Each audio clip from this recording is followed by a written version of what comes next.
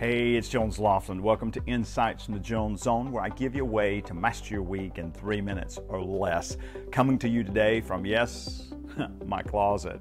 Uh, I was thinking about how much thought we put into what clothes we're going to wear on a given workday, but how little thought we give to developing an attitude of gratitude when we start our day. And it has tremendous benefits to us if we'll take the opportunity to do it. Here are three to get you started. First, it changes got to get. When you think about all the things you got to do, it creates worry and anxiety. But when you start framing it in terms of what you get to do because of what you're grateful for, then it begins to give you a different attitude as you begin your workday. And even the difficult task, you can find something that you're grateful for that you get to do. Uh, an example from my world last week. I attended the uh, funeral of a, a, friend who battled alcohol addiction most of their life.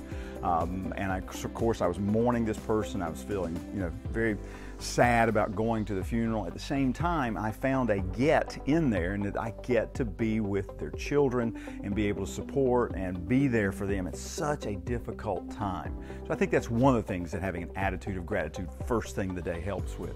The second is it changes how you approach your work because you're coming at an attitude of abundance and not scarcity.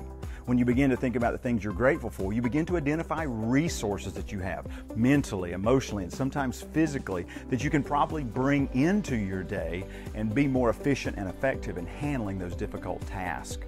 Finally, starting your day with that attitude of gratitude helps in your conversations with others. Yes, I know you love all the people you're going to work with today. However, there may be some that you find are a little bit draining from time to time.